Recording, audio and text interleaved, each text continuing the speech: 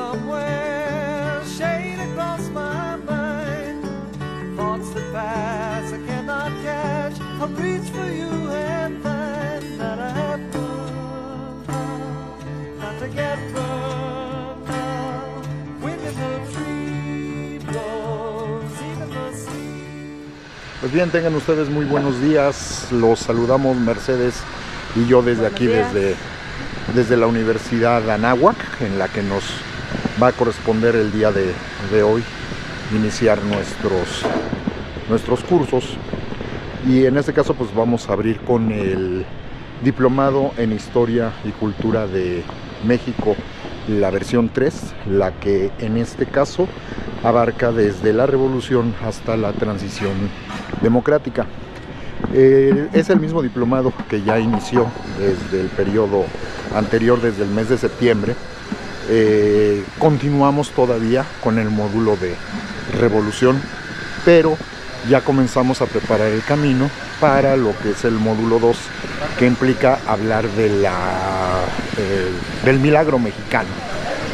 Y de ahí, pues bueno, ya las construcciones de lo que implica la vertiente del camino hacia la transición democrática.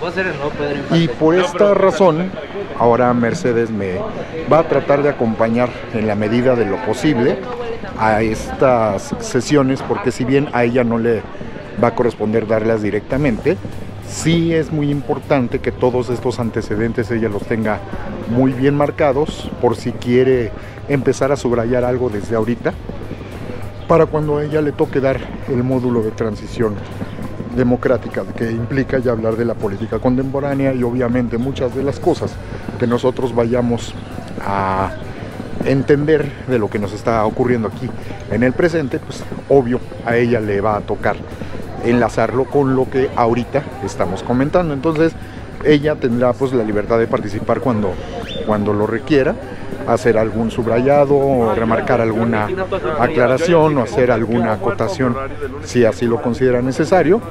Y este para que cuando llegue el momento, ya por allá de finales de febrero, principios de, de marzo, ella ya se queda con la titularidad del, del grupo yo quisiera estar presente todo ese tiempo que ella va a participar, pero no puedo hacerlo, no porque no quiera, sino porque al mismo tiempo me asignaron otro grupo eh, que va a estar paralelo y pues no puedo estar en dos lugares al mismo, al mismo tiempo. Aunque las sesiones igual se van a, a grabar y todo, pero ella va a ser la que va a llevar la titularidad completa, pero ya de hecho me ha ido haciendo una serie de comentarios observaciones de detallitos que sí necesita que se subrayen desde, desde ahora para que se pueda entender muy bien para cuando ella quiera hacer sus planteamientos ya en la parte que a ella le, que a ella le toca. No sé si tú quieras agregar algo al respecto. No, pues nada más que bueno, estoy contenta porque voy a ingresar a esta universidad. Bueno, ya ingresé. Como alumna sí ya había Como estado. alumna ya fui en un diplomado y este y ahora como profesor. Entonces, sí, bueno, el tema de la transición democrática, que es un tema que yo abarqué, si bien desde la perspectiva mediática y de cómo se manejaron ciertos temas eh, en mi- desde mi tesis de licenciatura y mi tesis de maestría, desde la perspectiva de comunicación institucional, bueno, este, finalmente la historia se cuenta y se, y se recuenta a través de los diferentes medios de comunicación, que no solamente son los eh, medios masivos de comunicación. Entonces, Aprovechando el viaje, podrías darles, ahorita que ya mencionaste una parte, eh, una semblanza eh, así sencilla de lo que ha sido tu labor profesional. Bueno, este, semblanza desde la perspectiva este, académica, yo soy egresada de la Universidad Nacional Autónoma de México, de la Facultad de Ciencias Políticas y Sociales, estudié la carrera de Ciencias de la Comunicación, la- de la maestría soy egresada de la Universidad Iberoamericana, maestría en Comunicación y mi especialización es Comunicación Institucional y Política. Es por eso que el tema me invitan a, a darlo también. Tienes un diplomado más cercano a esto, ¿no? Este, sí, bueno, aparte, este, eh, tengo en- dentro de mi ya trayectoria laboral, yo ingreso en 1994 a lo que fue el Centro de Investigación y Seguridad Nacional, el CISEN, de la Secretaría de Gobernación. Posteriormente estuve en la dirección general de la primera visitaduría de la Comisión Nacional de los Derechos Humanos. Posteriormente paso a la Cámara de Diputados a estar como asesora parlamentaria. Ahí también estudió un diplomado en Derecho Parlamentario este, con la UNAM y la Cámara de Diputados.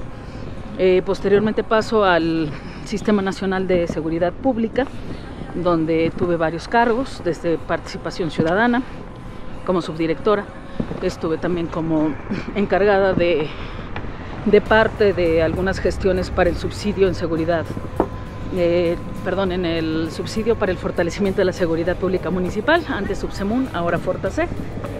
Eh, me especialicé en ese, en ese tenor. Y bueno, ya tenemos desde octubre, noviembre del 2010.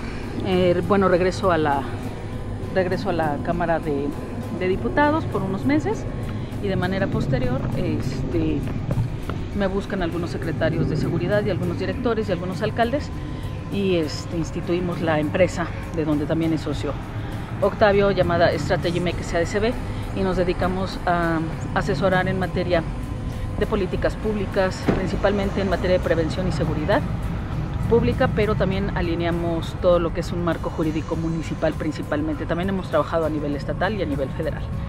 Entonces ya llevamos un buen camino andado en esto y hoy también con la vertiente de prevención del crimen a través del diseño ambiental, con la metodología CEPTED, una metodología con más de 40 años en el mercado y siendo la número uno para la recuperación de espacios públicos ¿no? en el mundo, reconocida por eh, la ONU, por el Banco Mundial, por el BID, por agencias internacionales como es USAID.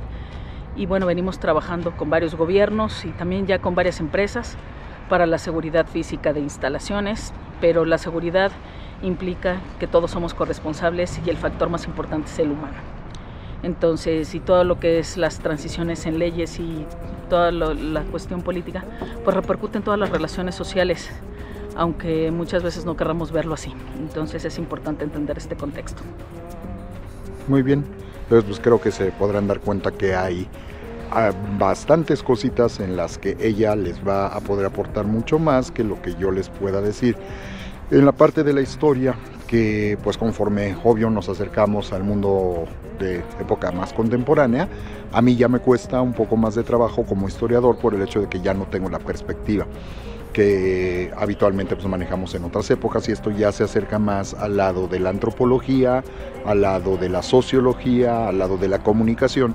Y aquí hablando pues ya del el manejo del derecho parlamentario y de la experiencia en el trabajo en seguridad eh, pública en los últimos años, pues aquí pues evidentemente Mercedes está mucho mejor preparada que yo. Entonces básicamente esto es lo que nosotros les estamos preparando para este periodo y pues vamos a comenzar el día de hoy con el punto en donde nos quedamos todavía en el año de 1927 para comenzar ahora sí que armar el presente para después poder ustedes hacer la reflexión y puedan volver al pasado para poder volver al futuro y entender constantemente en reflexión cada vez más renovada lo que implican las situaciones de lo que nosotros estamos viviendo en el aquí y en el ahora para que los eh, representantes de los distintos gobiernos contemporáneos no nos quieran marear ni nos quieran ver la cara y que digamos ahora sí ya basta para una verdadera transformación en donde las instituciones tienen que respetarse, para eso están, se tienen que ajustar, se tienen que transformar pero